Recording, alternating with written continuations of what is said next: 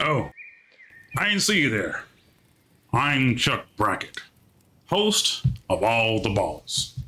Now you might ask yourself, you might ask me, hey Chuck, what are you doing all out there in nature in the wilderness?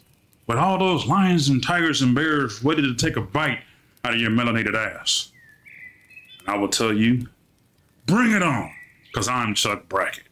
And I'm out here building my cabin myself with a rear facing porch with a hot tub facing to the east. Now, do me a favor. Run on down to that creek, give me a nice cold glass of mountain spring water. I got some grape Kool Aid and some sugar packets I've been saving up for just such an occasion. So make sure you come on back for all the Ballz weekdays at 8 p.m. only on the Marvel Not Network. I'm Chuck Brackett, and I damn well approve this message.